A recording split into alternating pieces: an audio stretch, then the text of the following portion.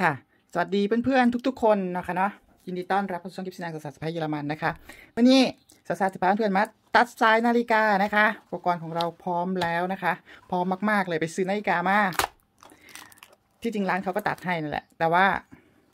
อยากเฮ็ดเอง ก็เลยสั่งอุปกรณ์ตัดมานะคะ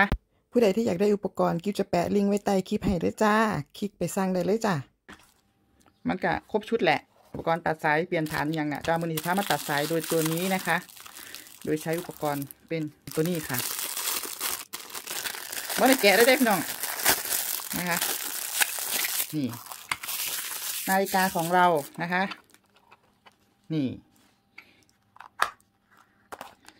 ซื้อกับซื้อมาแพงวัดดีนะคะเขาจะตัดให้บอกว่าบอข่อยจะร้องเฮ็ดเองแต่ว่าว่าสั่น แต่ว่า อัน ถ้าข่อยเฮ็ดบ่ได้ข่อยเอามานตัดให้ข่อยคือฟรีคือเก่าในเด้อว่าสั่นเถอะนะคะ ก่อนอื่นเฮากับวัดก่อนนะคะว่าเฮาเสียออกจากคอเนาะวิธีการวัดกับใส่เข้าไปใส่เข้าไป ถ้าเป็นรุ่นนี้นะคะตัวนี้มันจะออกไปได้เนาะ เราเป็นนึกซีเฮากะจับเบิงนี่กับประมาณนี้กับเบิงว่าของ กิฟนี่สิได้ออกอยู่ประมาณสองขอนะคะ ออกอยู่สองขอนี่ค่ะ นี่สองขอนะคะเดี๋ยวไปเริ่มกันเลยเนาะเอาซามักนาฬิกาที่มันมีตกแกะอังซีเด้พี่น้อง ถ้าเป็นตัวที่มันที่ที่มันเป็นอีกตัวหนึงที่มันสวมนะบ่มากปานใดโซ่สองคอนี่ก็แสงว่าต้องเอาสองอันนี้ออกเพราะว่ามันก็จะได้ซ้ำกันนะคะ ส่วนวิธีนะคะวิธีตอกมันก็จะมีลูกศรอยู่เนาะพี่น้องเนาะมาตอกไปทางใดเท่ากับมาเริ่มเลยจ้ะ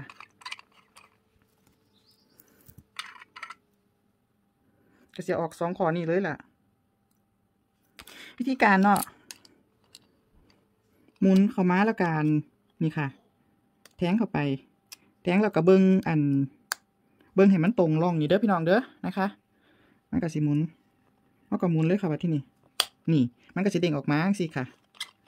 ด้งออกนี่ค่ะแล้วก็ดึงอันนี้ออกเลยค่ะซบนี่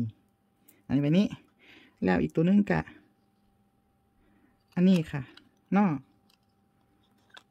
ใส่เข้าไป นี่ค่ะ ออกง่ายๆเลยเนี่ย เห็นปะชึบ จากนั้นเอากับอันนี้ ใส่กับพื้นค่ะ ใส่กับพื้นต้องเอาอันนี้ เพราะว่าอันนี้มันอยู่ตรงนี้นะคะ ใส่กับพื้น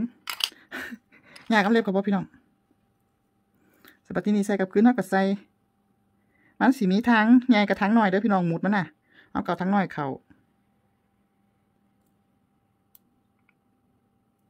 แล้วก็ตอก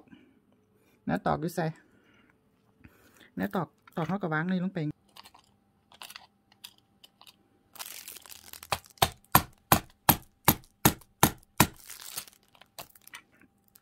ตอกแล้วก็แค่นี้ก็เสร็จเรียบร้อยค่ะ มาลองใส่เบิ้งบันนี้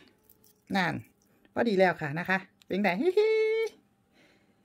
ไม่ยากเลยนะคะ ตัดสายนาฬิกาเอง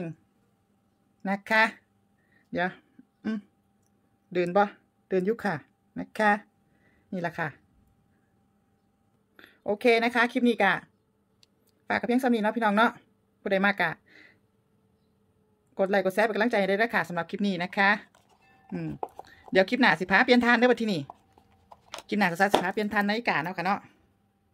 สำหรับคลิปนี้ก็ลาไปก่อนนะจ้าไว้เจอกันใหม่คลิปหน้า สวัสดีจ้า